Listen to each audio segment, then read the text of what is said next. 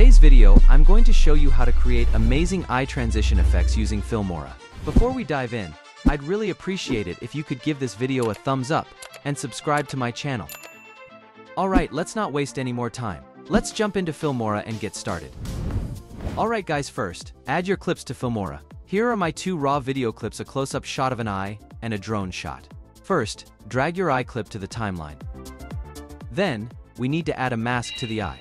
Select any point you want to draw, go to the mask settings, choose the pen tool, and click to add points, and draw the mask around the eye. If you click and hold while dragging, you can smooth out the curve to get a nice accurate mask. After drawing the mask, go to the mask settings and invert the mask. Next, we're going to track the mask. Create a keyframe on the path, move a few seconds forward or backward, and adjust the mask as needed. Continue this process until the mask is perfectly tracked.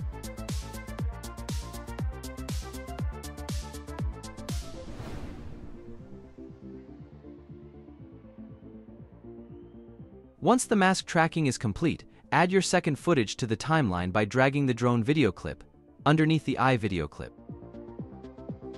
To fix the sharp edges of the mask, select the eye layer, go to the mask settings and adjust the feather to around 85. You can also adjust the mask extend to minus 70 to get a smoother look. Now let's track the eye movement. So this is when the eye moves, our second clip will follow the same movement. To do this, select the eye layer and duplicate it by pressing Ctrl plus D. Go to the mask settings and click the reset button to remove the mask on this layer. Then, go to the AI tools and enable motion tracking. Hide these layers for now. Next you need to find a great tracking point. So in this clip I bring the tracking box to the glossy part of the eye. And click the button to start tracking. After that, go to the link element and choose the element you want to link to the tracker. Then unhide your layers and hide your motion tracking layer if you want. Now, you can see our clip tracks the eye perfectly. Then, adjust the scale and position as needed. Alright, after the tracking, let's move on to the transition part. First, Go to the end of the eye layer and split your drone footage at that point. Then, move 15 frames backward and split the eye layer there. Now our transition will happen in this part. So to create the transition using keyframes, go to the beginning of the clip and create keyframes for scale and position. Move a few seconds forward, increase the scale to 1500, and adjust the position to the center. Then bring this keyframe to the end of the clip. Next, go to the keyframe panel Select all the keyframes, and add the curve graph to smooth out the transition. Now we have a zoom transition. Next, let's adjust the second clip to match the transition. So I adjust the layer like this. And then to make it even smoother, add a dissolve transition with a 15 millisecond duration between the clips. Now it looks much better. So, let's add some effects to make it look even better. First, add an adjustment layer to the timeline. The first effect we'll use is the glow effect.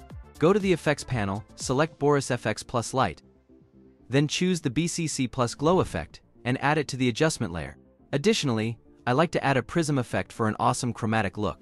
For this, use the BCC prism effect and add it to the adjustment layer as well. Next, go to the effects settings and select the glow effect. Adjust the brightness to 250 and set both the X and Y values to 100.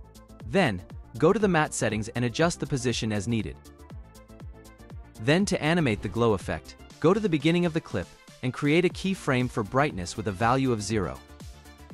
Move to the middle of the transition and increase the brightness to 250. Finally, go to the end and change it back to 0. This will give us a nice glow effect. Now, let's animate the prism effect. Adjust the starting and ending depth values to get a nice chromatic look. Set the starting depth value to around 0.9 and the ending depth to 1.1.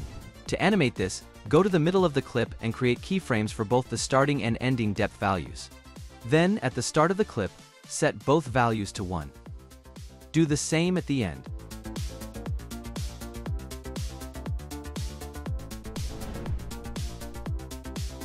Finally, let's add a handheld shake effect. Use the extreme effect and add it to the timeline. In the effects settings, change the frequency value to 15 and set the Y position to 0. Use the position X value to create the handheld shake effect. At the start, Create a keyframe for position X with a value of 0. Move a few seconds forward and change the value to 0.1. At the end, change it back to 0. Make sure to disable the RGB separate option. And that's it. Now our eye transition is complete. Here's the result. So that's how you make an awesome eye transition effect in Filmora. I hope you enjoyed this tutorial. If you're looking to learn more cool techniques, please subscribe to my channel and leave a like on this video. Thanks for watching, and see you guys in the next video.